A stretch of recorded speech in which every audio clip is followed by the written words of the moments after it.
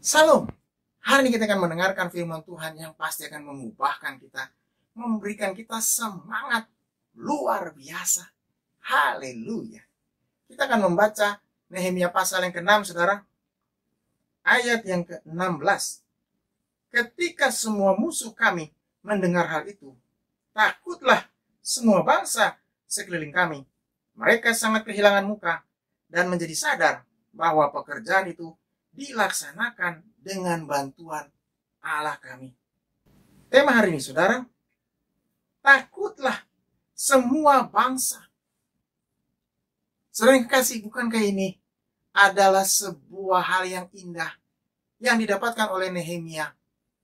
Dia bukan hanya menjadi berkat bagi bangsanya, dia bukan hanya menjadi teladan, dia bukan hanya bisa menyelesaikan pekerjaan yang besar, pembangunan tembok-tembok yang runtuh itu, tetapi dia juga diakui oleh bangsa-bangsa sekitarnya, oleh orang-orang sekitarnya. Siapakah orang-orang itu, saudara? Dikatakan sini di Nehemia pasal yang ke-6, ayat yang ke-14. Ya Allahku, ingatlah bagaimana Tobia dan Sanbalat masing-masing telah bertindak. Pun tindakan Nabi Yahnoajah dan nabi-nabi yang lain yang mau menakut-nakutkan aku. Saudara yang kasih, dikatakan dengan jelas dari orang-orang yang mau mengganggunya, bahkan mau menakut-nakuti. Kalau kita baca ayat sebelumnya, mereka juga merencanakan pembunuhan terhadap Nehemia. Teror setiap hari, hoax setiap hari, bahkan kiriman surat kaleng setiap hari, ancaman setiap hari, Bagaimana mungkin Nehemia bisa mengesampingkan hal itu? Di tengah kerajinannya, di tengah kegigihannya, di tengah pembangunan yang besar, dia harus memimpin banyak orang. Dia harus mengerjakan pekerjaan yang hebat itu.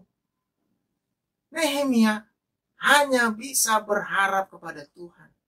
Dia tahu bahwa kekuatannya terbatas.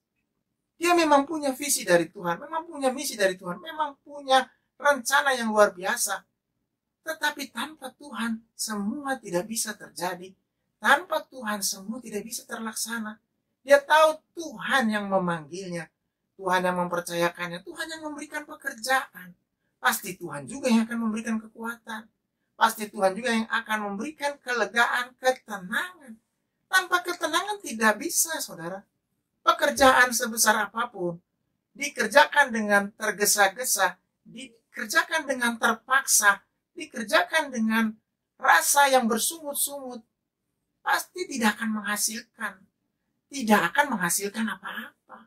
Tetapi kalau pekerjaan, apa pun yang kita kerjakan, mau besar mau kecil, tapi kita kerjakan dengan sukacita, dengan damai sejahtera, dengan membawa pujian kepada Tuhan, melibatkan Tuhan, percaya kepada penyertaan Tuhan.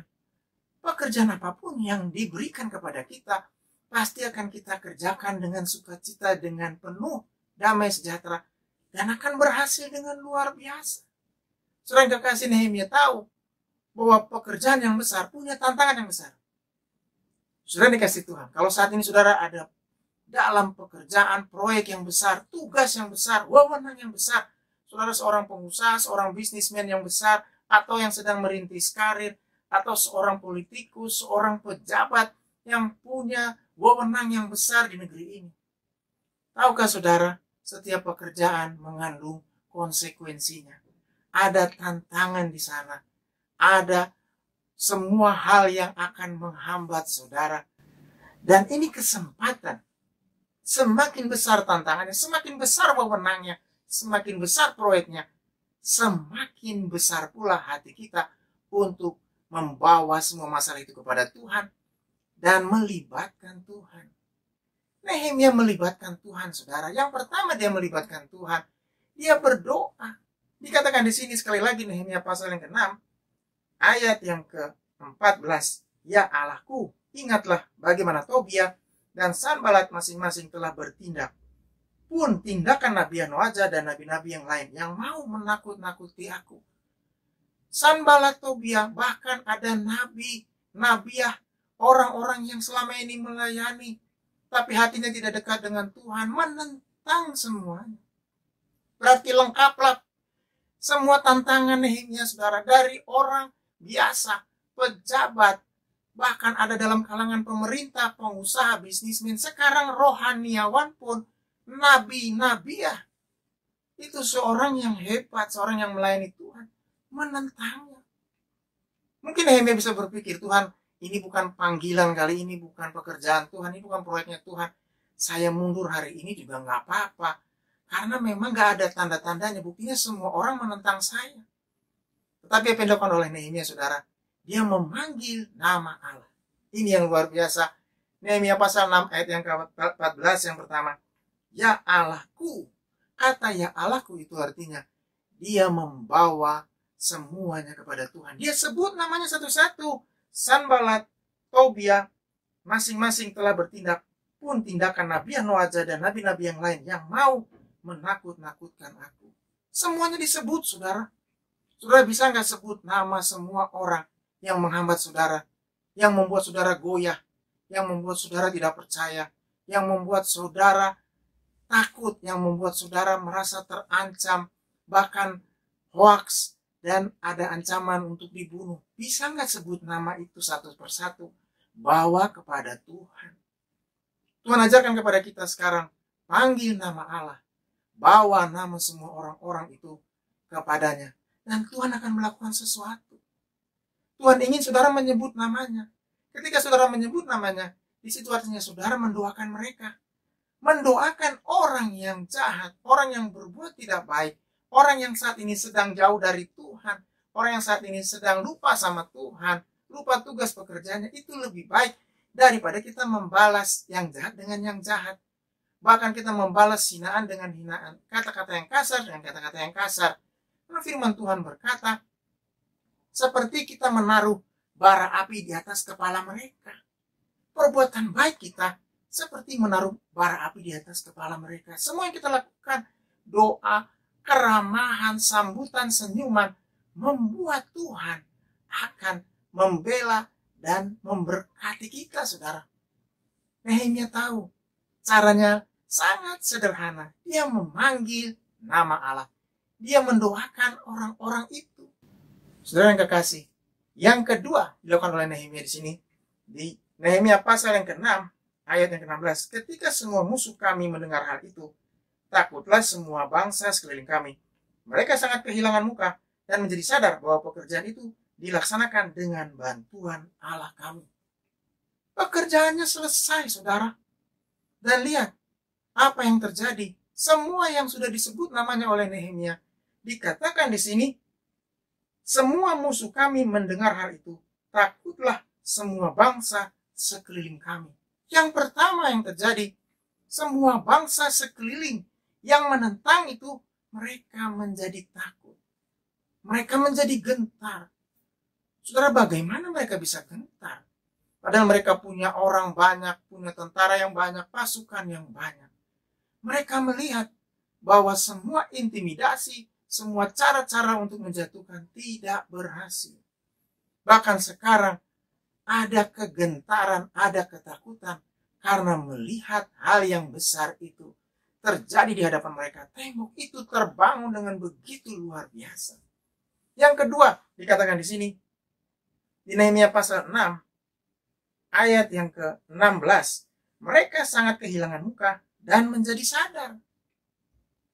Kata mereka kehilangan muka artinya mereka dipermalukan.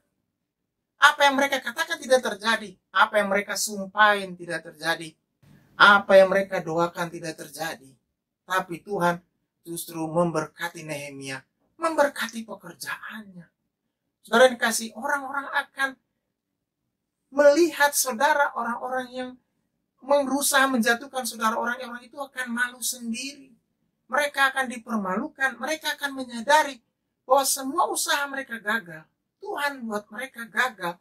Tuhan buat apa yang mereka rencanakan gagal, saudara. Tetapi lihat, apa yang Tuhan rencanakan terjadi. Jadi kita mau percaya yang mana? Apa yang Tuhan rencanakan atau apa yang manusia katakan, manusia rencanakan. Karena manusia tidak bisa melakukan apa-apa ia tidak bisa mengerjakan apa-apa tanpa Tuhan mengizinkannya. Nehemia disertai Tuhan. Nehemia tahu bahwa dia pasti bisa menyelesaikannya.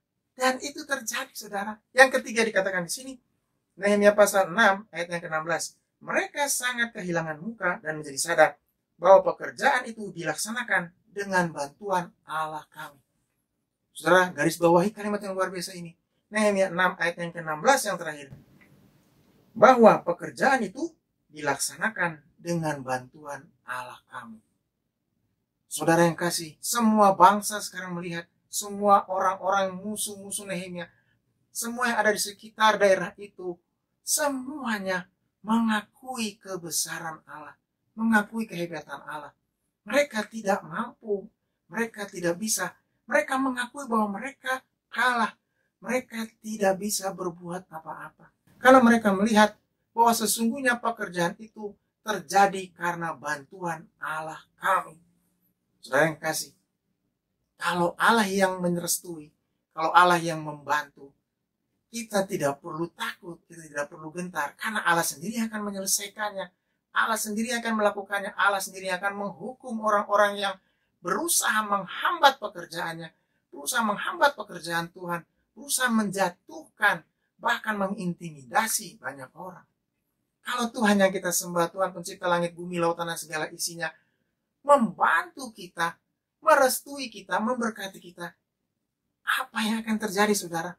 Pasti hal yang hebat, luar biasa. Dan itu dilihat banyak orang. Apa yang dikerjakan dilihat banyak orang dan banyak orang akan mengakui kebesaran Tuhan, kehebatan Tuhan, kemuliaan Tuhan. Nehemia membawa banyak orang, dikatakan di sini, bangsa-bangsa sekitarnya berarti banyak negara di sana, musuh-musuh sekelilingnya, semuanya mengakui kebesaran Allah, kehadiran Allah, dan mengakui bahwa semua terjadi karena Allah bersama dengan mereka. Firman Tuhan berkata, dengan Allah kita lakukan perkara yang besar. Sebab ia sendiri sudah menginjak-injak lawan kita. Kalau Tuhan di pihak kita, siapa lawan kita, saudara? Tidak ada. Hari ini, Tuhan bersama dengan saudara. Sekalipun saudara dalam keadaan susah, dalam keadaan berat, dalam keadaan sakit, Tuhan berjanji, Tuhan akan menyertai saudara. Pegang janji Tuhan, dan Tuhan akan memberkati saudara. Tuhan akan memberikan kasihnya Tuhan akan menunjukkan kuasanya. Tuhan akan menunjukkan anugerah yang luar biasa. Haleluya. Saat ini, secara khusus rindu berdoa, bahwa saudara saya ingin didoakan, ingin dijamah Tuhan, ingin dilawat Tuhan, ingin disembuhkan Tuhan, ingin menerima Tuhan Yesus sebagai Tuhan dan Juru Selamat, di mana pun saudara berada. Taruh tangan kanan saudara di dada, angkat tangan kirimu, mari kita berdoa. Tuhan lihat tangan-tangan yang terangkat, Tuhan lihat hati-hati yang terbuka, saat ini Tuhan masuk dalam hatinya, tinggal di dalamnya beracara, menguatkan yang lemah, memberikan penghiburan buat yang susah, berikan damai sejahtera, sukacita, kemenangan yang luar biasa. Tuhan juga menyembuhkan anak-anak Tuhan yang saat ini masih dalam keadaan sakit, kena wabah penyakit di mana pun mereka berada. Firman Tuhan berkata, bilur-bilurmu Tuhan Yesus sudah menyembuhkan yang sakit. Dalam nama Tuhan Yesus, yang sakit sembuh, bangun, kembali bangkit, kembali menjadi berkat. Tuhan juga berkati bangsa ini, sembuhkan bangsa ini, kuatkan bangsa ini, bawa bangsa ini, pemerintah kami, presiden, wakil presiden, para menteri, pimpinan di pusat sampai darat TNI Polri, datang kepada Tuhan, percaya kepada Tuhan. Semua yang akan mengganggu, semua yang mengintimidasi, semua yang akan menjatuhkan bangsa ini katakan dalam nama Tuhan Yesus. Jadikan hari ini hari berkat, hari yang luar biasa, hari anugerah Tuhan, hari pertolongan Tuhan. Dalam nama Tuhan Yesus, haleluya. Amin. Tetap semangat, tetap kuat, Tuhan Yesus memberkati saudara. Haleluya.